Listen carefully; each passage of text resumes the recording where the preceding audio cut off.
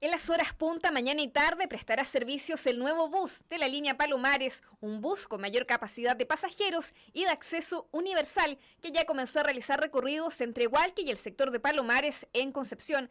Es de piso bajo para facilitar el acceso de personas con movilidad reducida, lo que fue valorado por los primeros usuarios. Yo pasé muchos años con los problemas de las sillas de ruedas y realmente si no hubiese sido por la voluntad de la gente, que aunque crean que no hay gente buena, hay gente buena ellos me, ayudan a subir mi silla de ruedas, me ayudan a sentarme y todo eso.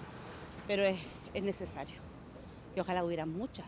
Está muy bueno, eh, todo parejo, no hay que subir, eh, no hay que escalones, nada, está todo parejito. Para las personas inválidas sobre todo está perfecto.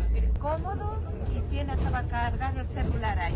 El bus cuenta con una rampa para facilitar el ingreso de personas que usan silla de ruedas, comentó Francisco Castillo, representante de la línea de buses Palomares. Es el primer bus de este tipo que presta servicios en la zona. Bueno, no nos ha tocado en estos momentos tomar un usuario con silla de ruedas, pero sí en las exposiciones han subido con la silla de ruedas y queda casi plano el acceso porque también se arrodilla el bus en el caso de que la solera esté más alta. Vienen dos espacios definidos, tanto la silla como para acompañante, que es una silla abatible para acompañante que viene con la silla de ruedas.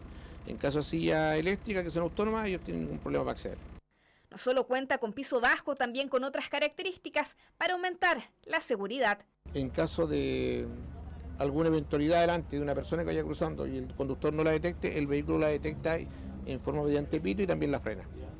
Cuando tú vas doblando, tiene alerta en ambos costados, en la cual le informa a la persona que el vehículo va doblando y también me informa a mí cuando hay personas al lado del vehículo que van cruzando. La incorporación del bus a los recorridos del Gran Concepción se realizó por una iniciativa privada, pero la idea es contar con más buses de acceso universal, agregó el Ceremi de Transportes Héctor Silva. La nueva regulación establece como una condicionante de que eh, los nuevos buses que se incorporen a partir de cierto periodo de tiempo tienen que ser eh, tienen que tener eh, acceso universal y tienen que ser buses de piso bajo.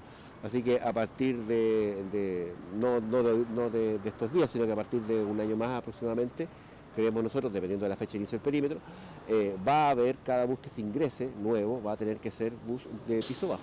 El programa para renovar las micros de la región que lanzó hace un tiempo el gobierno regional también busca incorporar 20 buses nuevos con acceso universal.